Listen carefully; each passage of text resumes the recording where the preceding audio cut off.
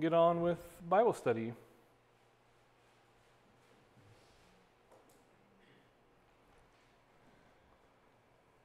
Right, says that we are live. If, uh, oh, we got two people watching, so maybe someone can confirm that they can hear me on the internet. I'm guessing that'll be Liz's job. In the meantime, let's open in prayer. Heavenly Father, thank you for this day and for your goodness and grace. Thank you for your word and your faithfulness to us, Lord, as we continue to study uh, the infrastructure behind your word. Lord, we do pray that you lead and guide us into all truth and that you would comfort us again with your gospel. In your name we pray. Amen. All right, so we're going to continue on with our introduction to Luke Acts. I am still working up our customized uh, outline that we're going to follow for an abbreviated study. We're not going to go verse by verse through what I think is the two longest books in the entire New Testament. Uh, that's a task too great for us to endure. Uh, I, I, get visions of God sending food to Elijah in the wilderness, saying, It is too much, rest and eat. Uh, we're not going to do that. We're going to have an abbreviated study looking through uh, one of a couple of different lenses I'm trying to develop without shoehorning uh, something into the text that isn't there. So hopefully in two weeks, uh, I will have that ready. As a reminder, no Bible study next week uh, as I will be in South Dakota speaking at Pickerel Senior Camp. Uh, but in two weeks, we will have study again. So that's where we're at. That's the update. This is where we left off last time, talking about what is uh, Luke's writing, what category, what is a gospel, what is the book of Acts, and what is Luke writing about. The key point here is the, uh, the idea that Luke is pointing to Jesus Christ and teaching us about the kingdom of God. That is the uniting force really behind Luke and Acts. And, and uh, that's kind of our launching pad. So that's where we left off two weeks ago. Now we're going to do the when and the where. Um, Acts, Luke and Acts are, are more or less dated to the last half of the 50s AD. Or uh, if you're an academic snob from the last 30 years, the 50s CE. Uh, you remember that, that academia has gotten rid of the terms uh, BC and AD, and now it's BCE and CE. Uh, it's before Common Era and Common Era are the new dating scheme. All the years stayed the same, but, but, but certain atheists wanted to get before Christ and Anno Domini in the year of our Lord out of whatever. It's dumb. Uh, so we go BC and AD. Luke and Acts were probably written back to back in between 55 and 60 AD, uh, which means they were probably at the very least compiled, if not the first drafts written during Paul's second and third missionary journeys. So when we get into the book of Acts and we get into the last half of the book of Acts, uh, I'm going to really try to bend over backwards to point out when things might have been written. And again, if you remember from two weeks ago, we have the very fascinating probability uh, that when Paul was in Ephesus, that's described in the book of Acts, Luke was interviewing Mary for the background for the Gospel of Luke. And we have all of those fun things. So, this is a map that none of you can see from your seats, but it's uh, Paul's first and second missionary journeys. The uh, second missionary journey is purple and red, it's the big outside loop. Paul leaves Antioch, goes up through the Turkish peninsula or Asia Minor he scoots into Greece and then he comes back via the Mediterranean Sea. Uh, and then the, th- oops, I didn't want to do that. Oops, I did want to do that. Go back. There. That's his third missionary journey. I do not know why it's so much bigger. Uh, I still haven't mastered the uh, Mac uh, version of PowerPoint yet. But again, Paul traces almost the same route as his second missionary journey except for when he reaches Greece, instead of just hightailing it home via the Mediterranean Sea, he goes back up and almost retraces his route. Uh, so that's the uh, second missionary journey. And if you have a similar map uh, to uh, in the back of your Bible, you can kind of get some of those cities. So that's the geography, that's the where. Luke wrote it. Here's the timeline. I think we just barely touched on this two weeks ago. Uh, third missionary journey is dated 54 to 57, uh, which means uh, basically once they get back to Jerusalem, Luke is just appending the book of Acts as it happens. And you will notice that those last uh, few chapters of the book of Acts, uh, we talked about Luke switching from the they to the we pronouns. Last part of the book of Acts is almost exclusively we when they travel. So Luke is with Paul, writing in real time what happens.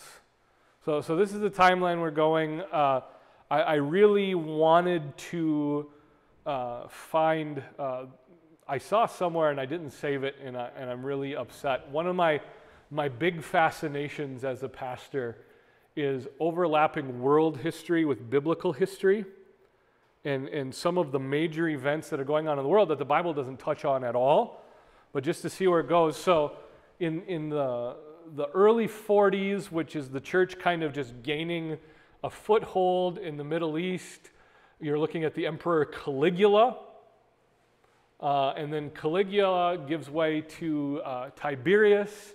And in the late 40s, 50s ish, that's when Nero jumps onto the scene.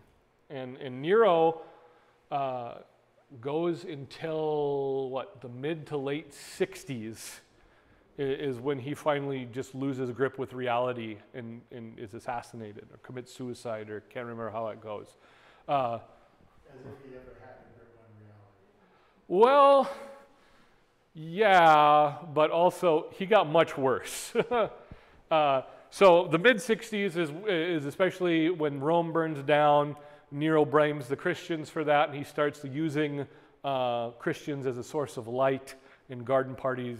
Coats them with tar and lights them on fire and suspends them over his garden parties. All that horrendous stuff.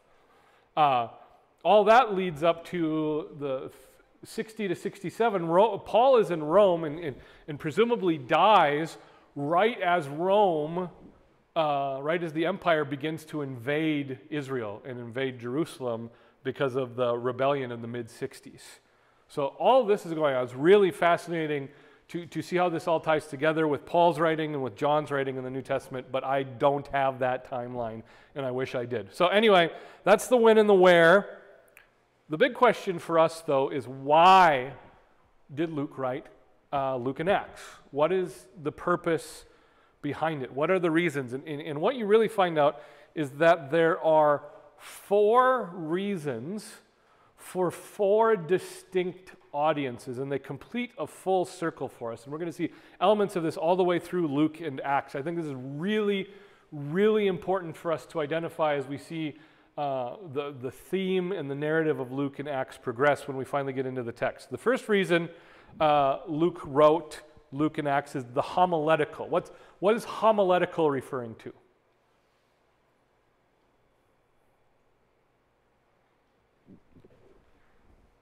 Now, if you guys were all Bible school students right now, and, you wanted to write about this, you would start a paper in class with Dictionary.com or Merriam Webster defines homiletical as, and what's homiletical? Preaching. Homiletical pertains to preaching. It's where it's the same root word as we get homily, which is uh, a sort of a sermon. Uh, and, and, a homiletical purpose is Luke wrote Luke and Acts for baptized Christians, for established members of the church mature in their faith.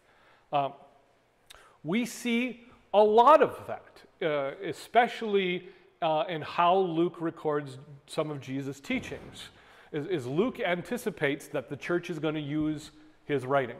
And, and so we see some of that going forward. But we see more of the second category. I think this is the main category catechetical. What does catechetical mean? Referring to the catechism, which means what does catechetical mean?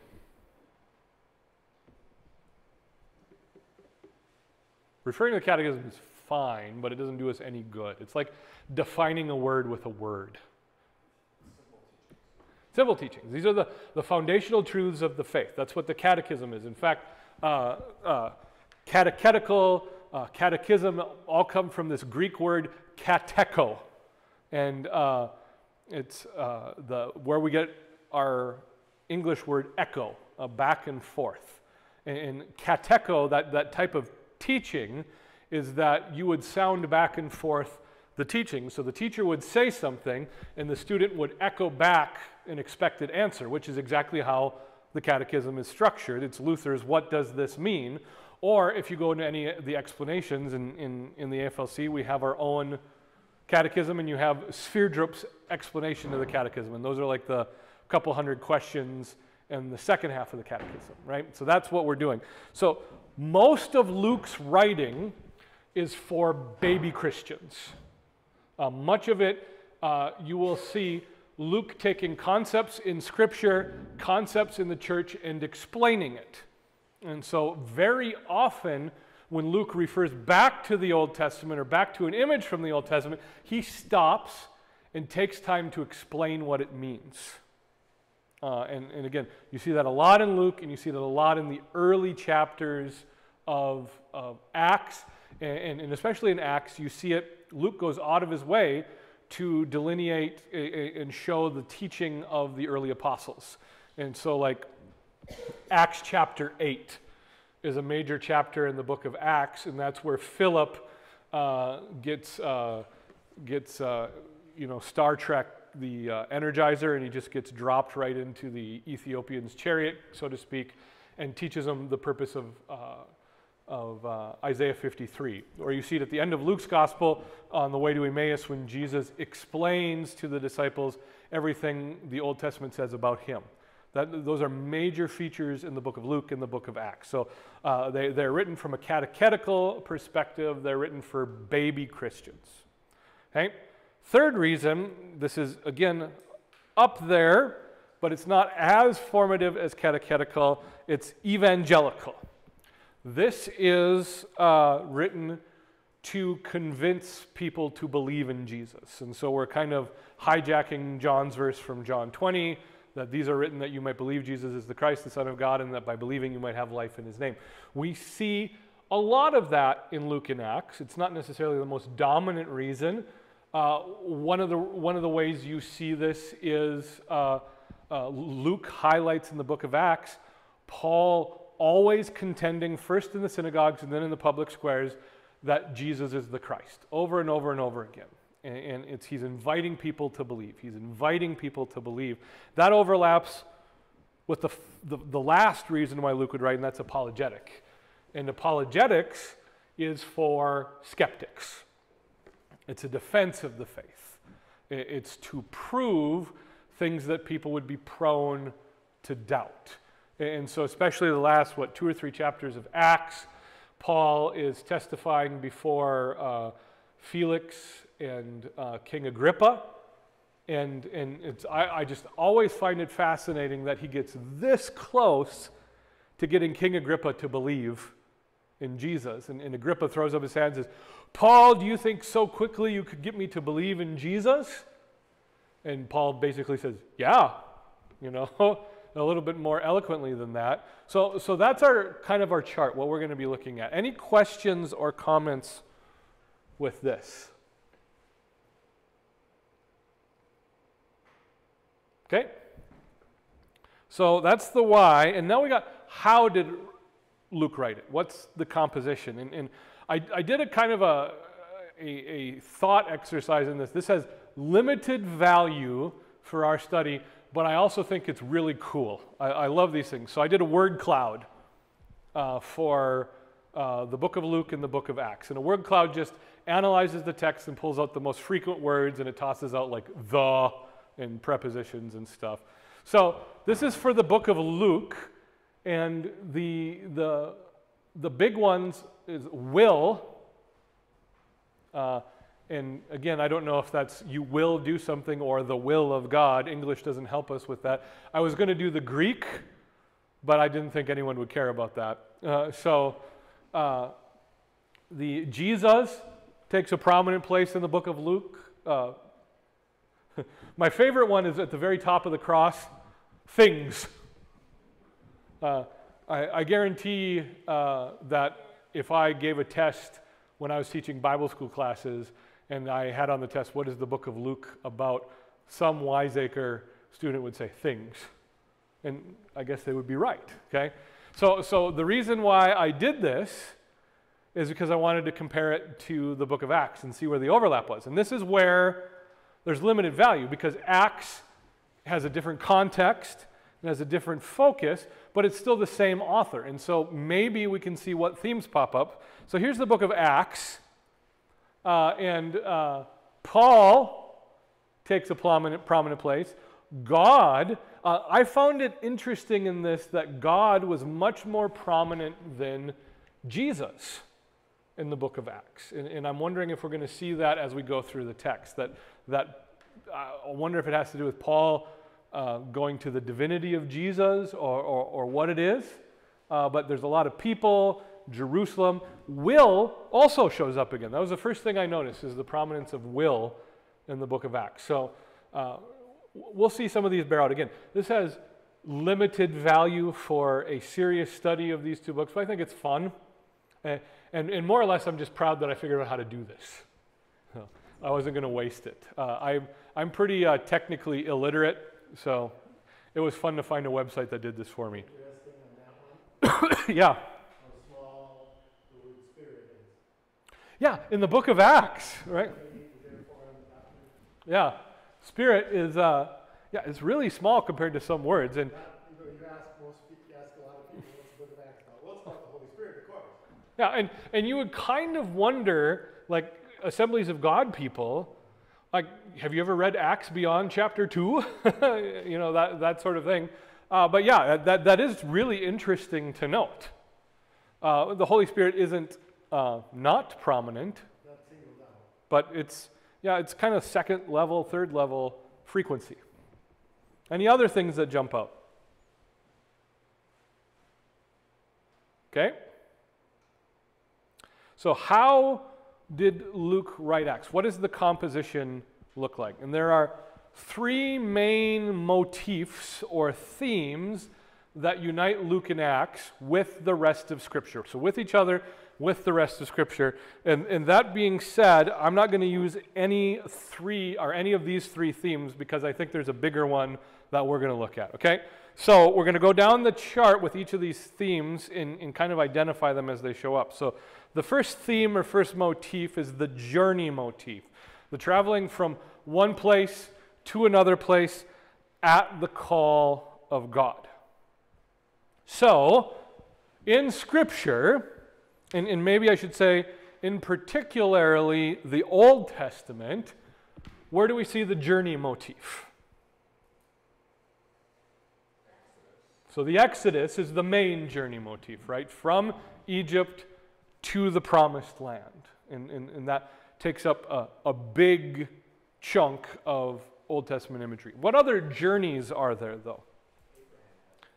Yeah, Abraham is a pretty big journey going from Ur of the Chaldeans all the way to the promised land, then to Egypt, then back to the promised land. He's bouncing all over the place. So the Abraham journey is the first big one. Uh, you could maybe go back a little further and say the journey from Eden to not in Eden, but the journey isn't really highlighted there. The same with the Tower of Babel. Okay, so we got Abraham, we got Exodus. I came up with four big journeys. Abraham and Exodus were the first two. What are some of the other ones? So Jacob, yeah, so Jacob goes back and then for, for uh, Rachel and Leah. So that would be a big one, yep. Okay, so the exile is the last big one, right? So exile to Babylon and then back to the promised land, back to Jerusalem. Uh, the other big one I got that I, I it, it, might not seem like big as it happens, but it's really big from a preaching perspective is Elijah. What was Elijah's journey?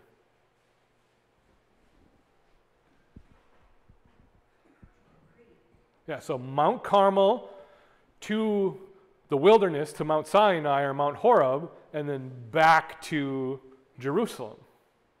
Yeah, so this journey motif, this idea of moving around at the call of God, is a big idea in Scripture. Okay? So now Luke and Acts uh, both have journey motifs. Okay? The, the big journey in Luke is again, it's a metaphorical journey, but it's also a real journey, is Jesus' journey from heaven to earth to heaven.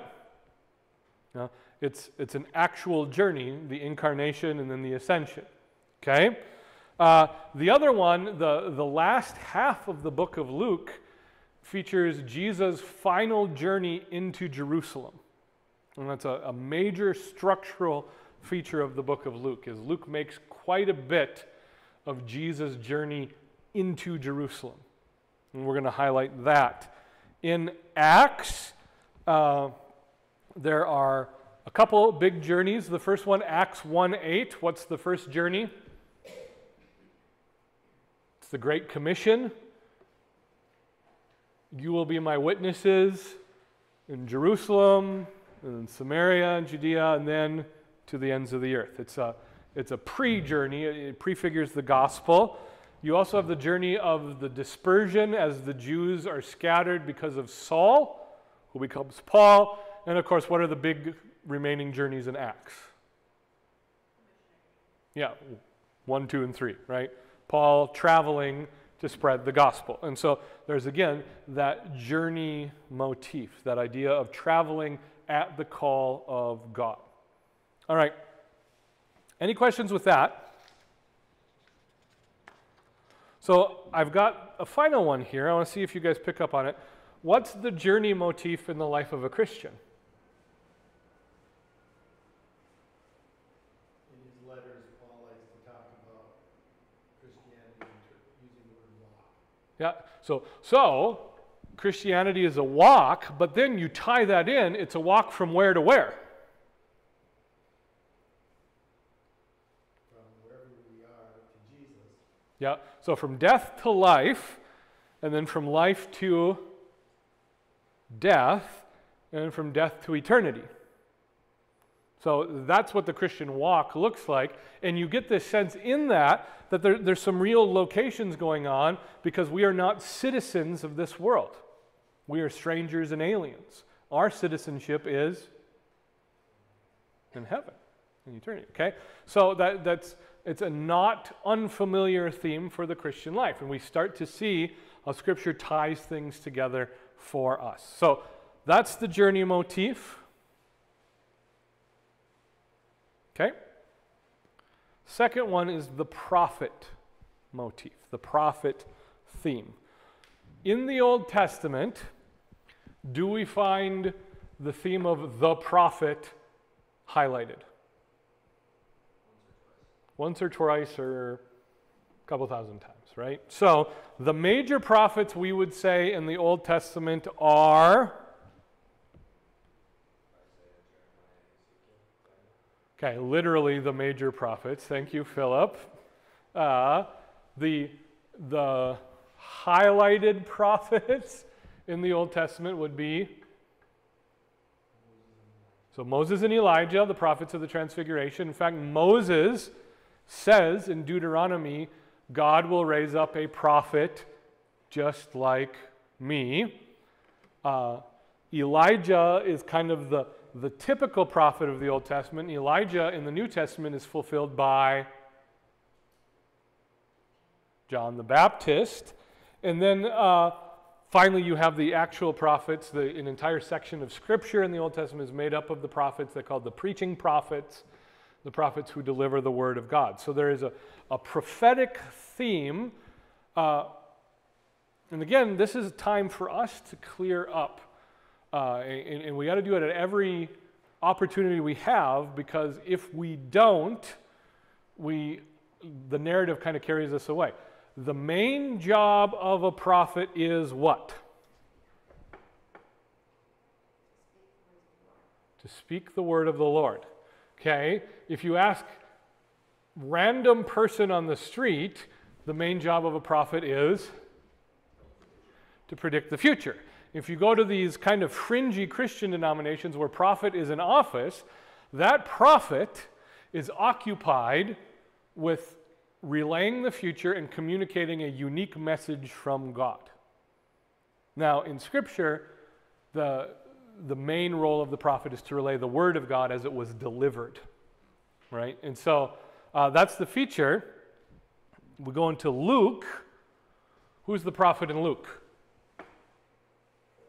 Jesus is the prophet. How do we see Jesus acting as prophet in the Gospels? I won't even limit you to Luke's Gospel because they're all covering the same material. How do we see Jesus as prophet in the Gospels?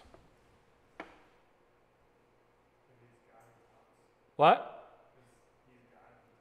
So he's God and he talks. So when Jesus speaks, yeah, you and Philip are going to have some problems here. You, are cutting in on each other's territories a little bit. Yeah.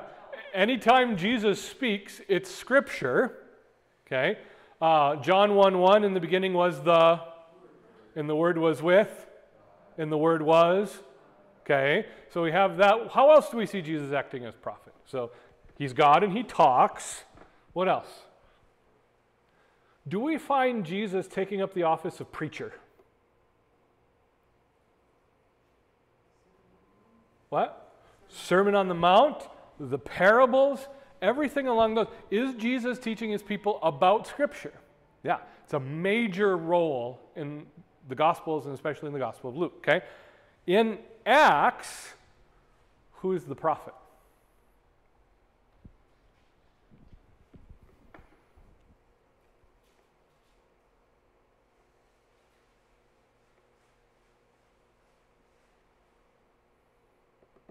It's not a trick question. I just made it sound like that to kind of make you guys nervous.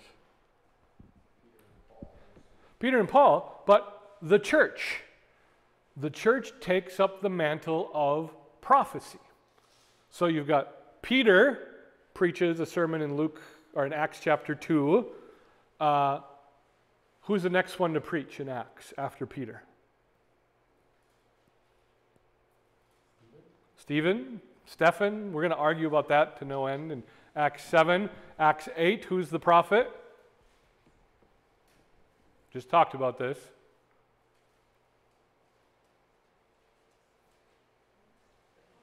Philip, and then Paul takes over, right?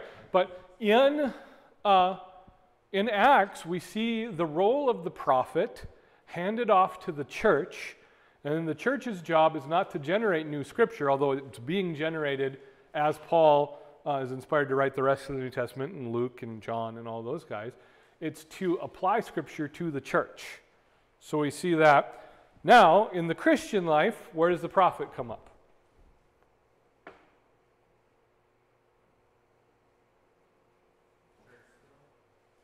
Church still. where? The pastor. So I will argue this until I'm blue in the face, and I've gotten pushback, and, and I think it's fair to push back on this. I think when the New Testament talks about the spiritual gift of prophecy in Romans 12, uh, in Romans 14, 1 Corinthians 14, and all the other places where it talks about prophecy as a spiritual gift, I think it's talking about preaching. Uh, I think having a gift to preach is something the Spirit gives to preachers. Nowhere do we have any hint that, that people were predicting the future. Now, what we will say is that there are certain prophets in the book of Acts, and Agabus at the end, or Abagus or Agabus, I think it's Agabus, uh, at the end of the book of Acts, predicts Paul will be taken to Roman chains, essentially, right? But who delivered that message to him? The Holy Spirit, right? So we, we still see it happening, but, but that's my argument. So in the Christian life, the, the theme of prophecy is one of preaching, which means if I do my job, I deliver to you the Word of God and I point you to Jesus. If I don't do my job, I fail at that. Okay? So the final theme or motif we're going to trace in Luke and Acts is the feast. The theme of the feast. And this, again, is one in Scripture that is all over the place. So, where do we see the feast in the Old Testament? No. It does not. How come it's not called a potluck motif? we could do the potluck. Seems a little less spiritual. and the purpose is different while it is still the same. Yeah, the potluck motif. Also, because some weird places would call it a smorgasbord, and that's just weird.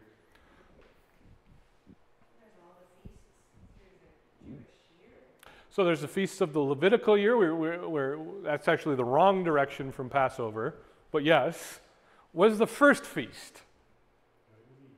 Well, so the Garden of Eden. Every tree is given for food except the knowledge of good and evil. Okay? All right, so there's that. The next feast of real significance is Abraham when the three visitors come and Abraham makes a feast. so you have the symbolism of the Trinity, you have feasting with God, God giving the blessing of a son. All of that's going on in Genesis. And then there's other feasts. Joseph's brothers reconcile with Joseph at a feast. Okay? Uh, from there, then you have all of the, the Moses feasts. So you have the Passover that Philip jumped to. Then you have the feasts of the liturgical year in uh, Le- Leviticus and Deuteronomy. Uh, in between, uh, there are feasts of grace and feasts of punishment. So you have the manna, it's a feast of grace in the wilderness. Right after the manna, what's the feast of punishment?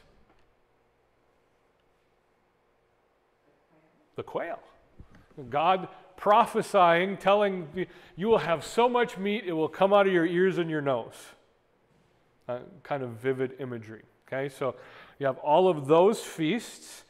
From there, you have the tabernacle and the temple. Where are the feasts in the tabernacle and the temple?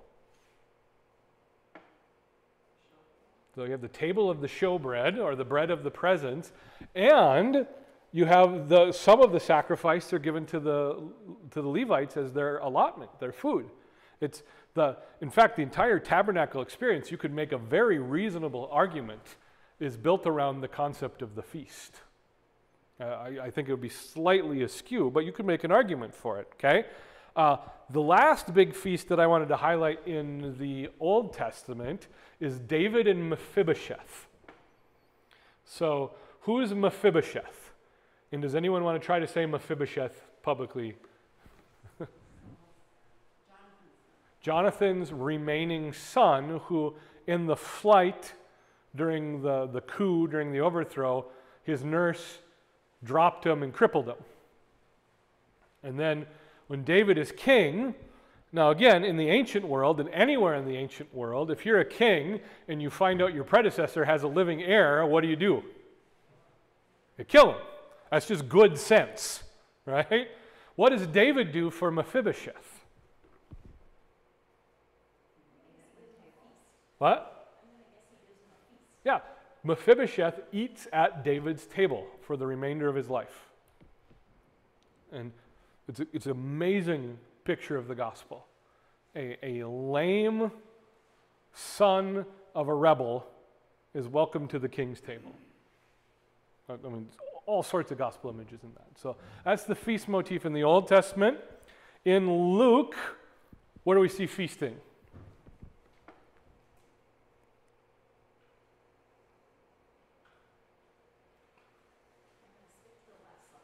So, Last Supper, yeah, the Last Supper is the last one. So, Holy Communion is the fulfillment of the feast theme until we get to eternity, where it will be the wedding supper of the Lamb. Uh, what else are the feasts in Luke? Jesus, Jesus feeds the multitudes. Okay, good. Jesus eats with the Pharisees and with the tax collectors. So, he, so he, again, we, we can explode this into the whole gospel. Jesus eats with Matthew and with Zacchaeus, but he also eats with Simon the Pharisee. It's really, really interesting. Right? That's all of those are built around the feast motif. What about the book of Acts?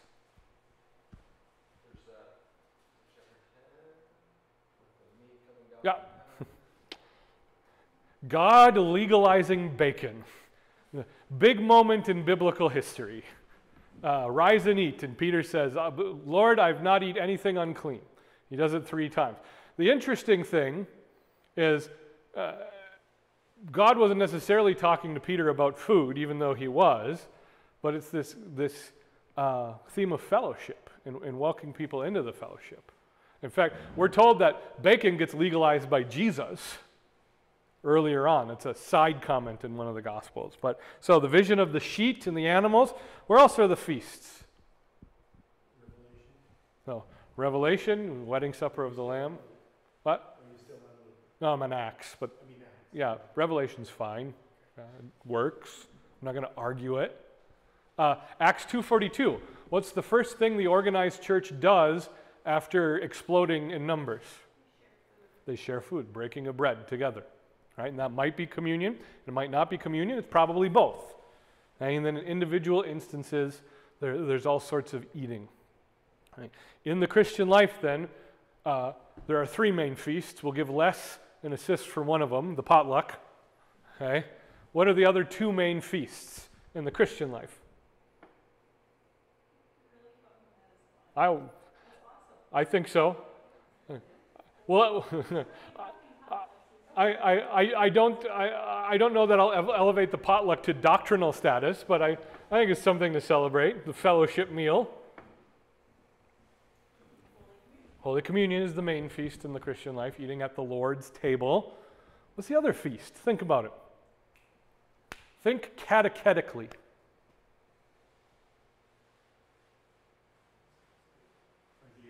Our daily bread.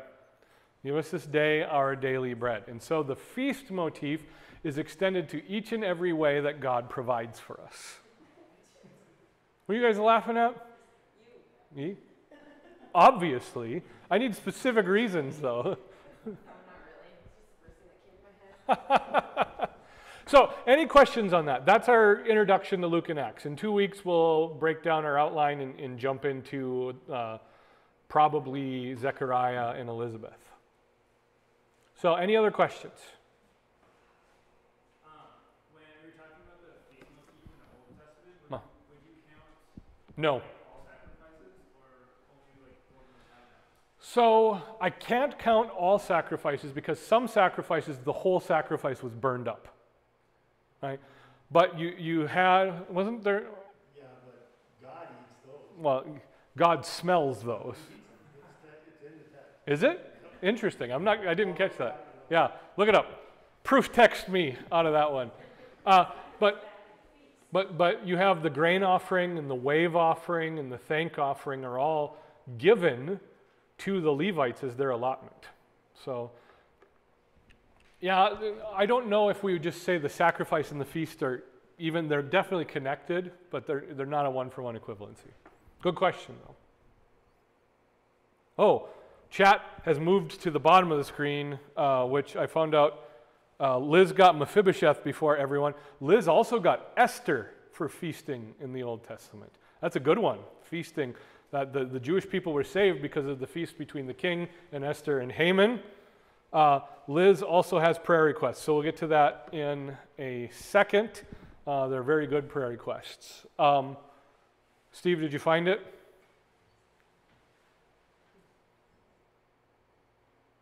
No. Okay. Yeah, I did. Okay. Leviticus 21.6. Leviticus 21 6. They sh- talking about the sacrifices, or the priests who offer the sacrifices. They shall be holy to their God and not profane the name of their God, for they present the offerings by fire to the Lord, the bread of their God, so they shall be holy. All right. So the offerings are the bread of God. And, and I think if you wanted to get really metaphorical with them, you take like the, the sacrifice Samson's parents, Manoah, and his wife offer. And when the angel, the angel of the Lord ascends to heaven, he consumes the offering, so that disappears. I don't know, it's, it's exactly eating. Close, close enough. That's kind of, that's part of the background whole idea. Yeah. I, I don't think we're committing heresy. So I was wrong. We'll go with that. All right. So, as I said, I'm not doing any three of these themes. what I'm going to try to do is to build an outline on Luke and Acts that connects us back to the minor prophets. Because this is kind of our interlude with the minor prophets. I think uh, I read through Luke and I read through Acts straight through, which is Pastor Haugen taught me to do that in seminary. If you really want to get a sense of the flow of the book, you read it from beginning to end. You try to ignore the verse breaks and so on. I think I can build an outline on the day of the Lord. Uh, I, I'm pretty sure it was there enough, so I don't think I'm, I'm forcing it. If I can't, I know for certain I can build an outline on the defense of the faith. So that's our backup. Uh, and so we'll have one of the two of those structures. And my goal in going through Luke and Acts is to have a symmetrical outline of Luke and Acts. So if we have 14 units in Luke, we'll have 14 units in Acts. Uh, and it probably won't be any longer than that. We're going to be skipping quite a bit of material because otherwise we'll just be on it forever because I won't be able to help myself. So uh, that's where we're at. Uh, Liz has prayer requests, so Liz, I will get them to the group, uh, and I'm going to shut down the stream, and then we're going to have prayer time.